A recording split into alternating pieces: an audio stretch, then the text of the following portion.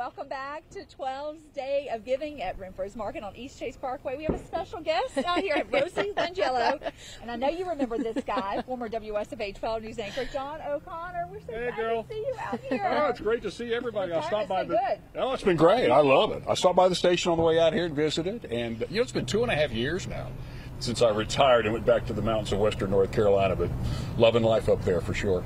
I know you always love 12's Day of Giving. Yeah, you know, I was happy it was today. It brings back a lot of memories coming out here. It really does. And encourage the folks to come donate. Oh yeah.